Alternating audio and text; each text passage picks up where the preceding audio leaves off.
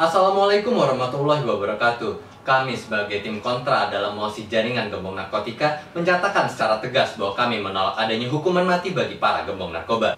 Secara filosofis, sanksi pidana berupa pengenahan penderitaan kepada seseorang oleh negara menuntut sebuah pertanggungjawaban.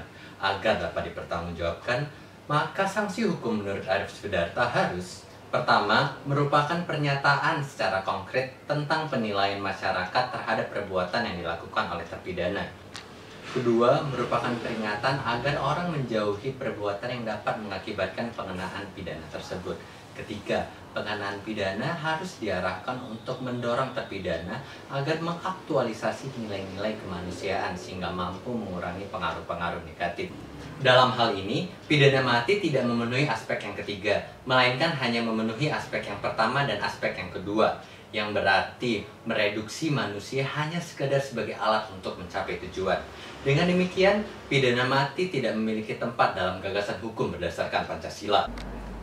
Secara juridis normatif, hukuman mati untuk gembong narkotika merupakan pelanggaran hak asasi manusia, yakni hak untuk hidup, di mana merupakan constitutional rights dan pemenuhan yang tidak dapat dikurangi karena alasan apa pun sesuai dengan pasal 28i ayat 1 UUD RI 1945 serta pasal 6 ayat 1 junto pasal 4 ICCPR yang diratifikasi melalui Undang-Undang Nomor 4 Nomor 12 Tahun 2005 serta pasal 9 ayat 1 Undang-Undang HAM dan pasal 3 DUHA. Hukuman mati dalam sistem pidana di Indonesia sendiri merupakan alat pencegah untuk terjadinya most serious crimes yang telah diamini oleh pasal 6 ayat 2 ICCPR di mana most serious crimes menurut konvensi tersebut telah diartikan melalui Safeguard Protocol the Protection of Rights for those who are facing death penalty di mana yang perlu digarisbawahi menurut safeguard tersebut narkotika bukan termasuk most serious crimes karena tidak memiliki alasan utama yakni lethal intention.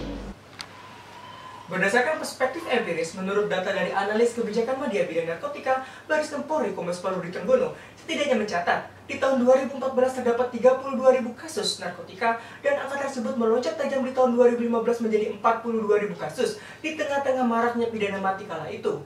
Hal tersebut mengartikan bahwasanya hukuman mati berbanding terbalik dengan penurunan angka atau kasus dari narkotika pun tidak ada jaminan bahwasanya pengadilan dapat memberikan putusan seadil-adilnya tanpa memiliki probabilitas melakukan kesalahan. Terbukti, di tahun 2005, kasus Ruben Pastamotar dan Marcus Pastamotar yang difonis mati, namun di tahun berikutnya mereka terbukti tidak melakukan kesalahan. Bahkan, setingkat internasional yaitu di Amnesty International melakukan 130 kasus kesalahan serupa. Lebih baik membebaskan seribu orang yang bersalah daripada menghukum satu orang yang bersalah. Sehingga solusi yang kami tawarkan pada permasalahan ini adalah perbaikan lembaga penegak hukum dan lembaga permasyarakatan. Terima kasih.